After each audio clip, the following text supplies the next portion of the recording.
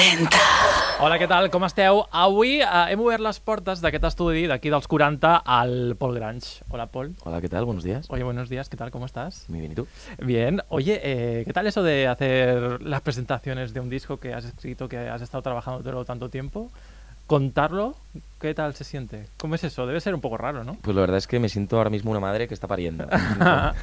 no, sí, eh, la verdad es que literalmente eso. eh, acabo de hacer un bebé, tío, y, y- y- y estoy súper contento y súper orgulloso de que todo el mundo ya pueda escucharlo y pues pueda hacer lo suyo.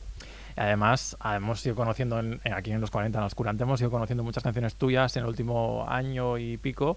Eh, ¿Cómo ha sido la diferencia tuya de ponerte a escribir las canciones cuando del último disco, del anterior disco con este? ¿Cómo ha sido, qué has notado diferente a la hora de ponerte a escribir?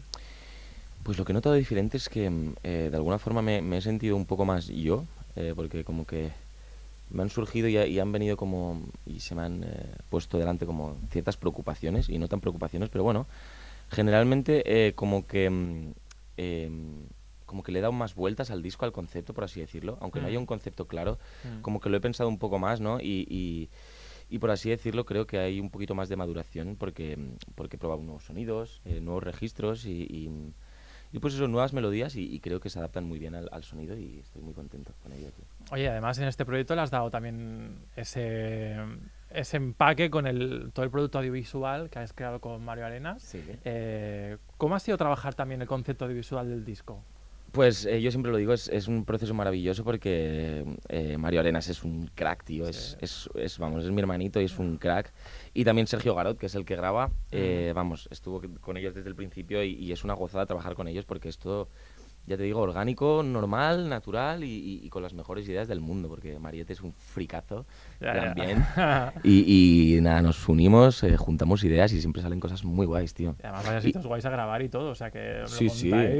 No, no, no lo monta. el montar videoclips con, con Mario y vosotros, o sea, todos los vídeos que has hecho son de esos de... No, no, nos lo montamos bien, nos lo montamos bien, claro ¿A que qué sí. vas? Claro que sí, claro que sí, claro que sí, sí. Oye, ¿y lo más fácil para ti de hacer con este disco, con este proyecto de Amor Escupido, qué ha sido para ti a la hora de ponerte con él? Lo más fácil. Sí, lo más fácil. Mm. Pues lo más fácil ha sido eh, meter las canciones que ya estaban creadas. Decir, venga, estas son parte del disco también. ¿Te han quedado muchas en los cajones? Eh, sí, eh, sí, sí, sí, sí. Se han quedado muchas en los cajones.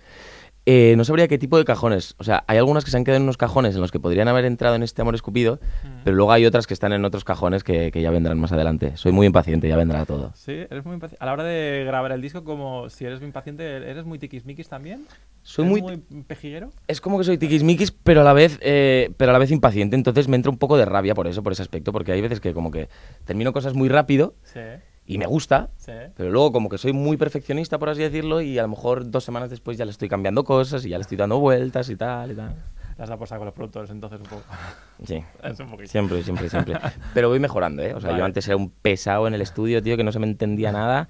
Y ya poco a poco vamos, vamos eh, teniendo un rumbo, sí. ¿Y disfrutas haciendo la grabación? ¿Qué es lo, mm, la grabación del disco? ¿La disfrutas? ¿Cómo es meterte en el proceso de decir, vale, ahora vamos a grabar esto, centrado en esto?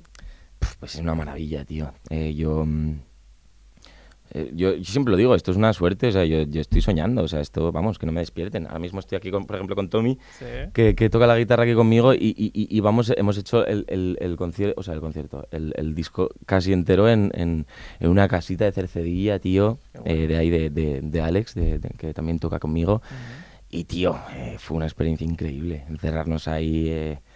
Amigos, tío, eh, música, conexión y creación. ¿Qué más, tío? Cervecitas y punto, tío. Sí, que al final O sea, salen salen las cosas bien así. pff, sale, sale como tienen que salir. Claro, que Claro. sí, claro que sí, tío. Y transformar esa grabación, sí, porque hace calor aquí, a la estudio del 40, a- a- aunque el invierno casi está llegando, pero del calor eh, aprieta. Eh, ¿ves? Te avisa, lo he avisado, he dicho en cinco minutos para tener calor. Y escúchame, la, llevar el, digamos, el concepto de la grabación de un disco, de cómo es el disco, a transformarlo al directo, porque tú, yo te he visto varias veces, por ejemplo, la gira de Summer Life, aquí has venido muchas veces, eh, te comes el escenario, porque es así.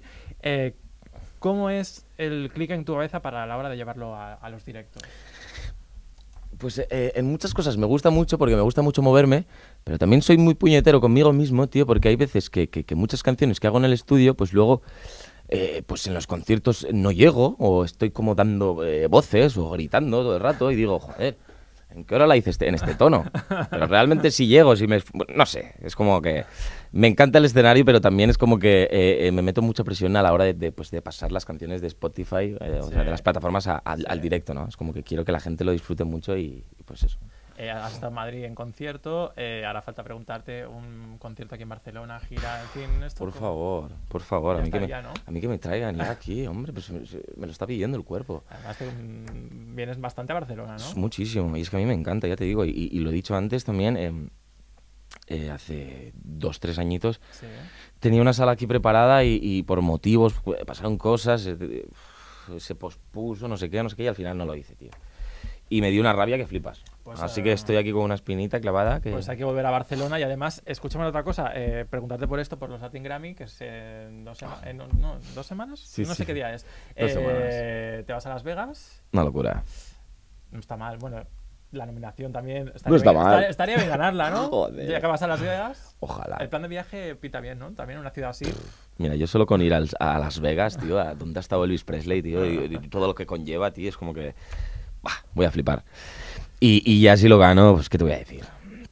No me quiero preparar ni... Lo ni... que pasa en Las Vegas se queda en Las Vegas. Lo que pasa en Las Vegas se queda en Las Vegas, totalmente. Total. Totalmente. Oye, Paul, eh, muchas gracias por pasarte por aquí por los 40. Gracias. Ah, espero verte pronto el año que viene. Si ya hablaremos con que tengamos que hablar para que vengas aquí a alguna sala de conciertos. Claro. Y que gracias y seguimos pendientes de este amor descuidado. Y también del último single que no te he preguntado, de todo se aprobar.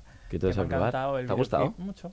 Tiene un rollazo guapo. Gracias. Sí, no, y es diferente. el- los ritmillos que le has dado a la canción. Es diferente, ¿a que sí? Sí, sí, sí, sí, a mí me recuerda un poco, me lleva, no sé por qué, a, a como la banda sonora de Mowgli, tío. Hostia. pues tiene- de la selva, un Pero poco. escúchame, que tiene cuando un Balú, aire. cuando Balú se ponía ahí... tu, tu, tu, tu, ¿qué canción? No me acuerdo la canción que cantaba, pero sí. Sí, no me acuerdo, pero que sí. Tiene el rollo ese así happy, pero que le da el puntito. Sí. Me ha gustado. Y el vídeo también acompaña muy bien a la canción, o sea que está guay. Eh, todo se aprobar también la última canción del Paul Grange. Ah, que sé que tienes eh, jarana hoy en Barcelona. Eh, que te lo pases bien por aquí y Gràcies. que vaya bien la presentación. Gràcies, Cuídate, guapo. Paul. Merci. A tots ja sabeu, als 40.cat més contingut exclusiu. Que vagi bé.